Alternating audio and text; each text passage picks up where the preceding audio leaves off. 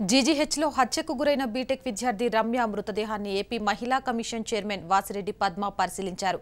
ఘటనపై వివరాలు అడిగి తెలుసుకున్నారు స్వతంత్ర దినోత్సవం రోజే.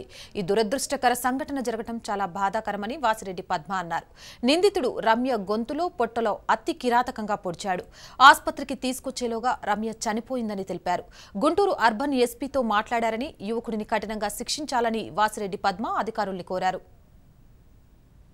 పడిపోద్దండి అక్కడ ఘోరంగా ఒంటి నిండా పడ్డంతో హాస్పిటల్కి తీసుకొచ్చే లోపు అమ్మాయి చనిపోయింది. కనీసం అమ్మాయి స్పందన ఏంటనేటువంటిది కూడా ఎవరికి తెలియనటువంటి పరిస్థితులు.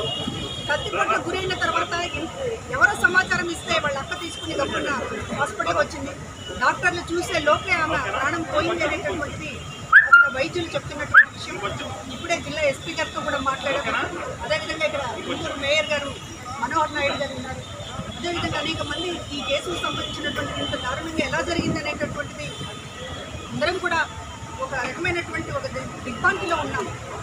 ఎస్పీ గారితో మాట్లాడాం. ఖచ్చితంగా ఇప్పుడు అన్ని కూడా ఎంక్వైరీ చేస్తున్నారు. కాల్ డేటాను కూడా పరిశీలిస్తున్నారు.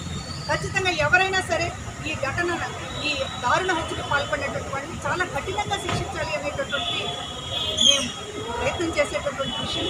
కానీ ఆడబిడ్డలకి ఎంత పట్టపగలు కూడా రక్షణ లేకపోతే ఎట్లా అనేటటువంటి ఈరోజు సమాజం ఒక ఆందోళన చెందుతున్నటువంటి విషయం. కనుక ఇట్లాంటి ఘటనల పట్ల కఠినంగా వ్యవహరించడానికి ప్రభుత్వం తరపున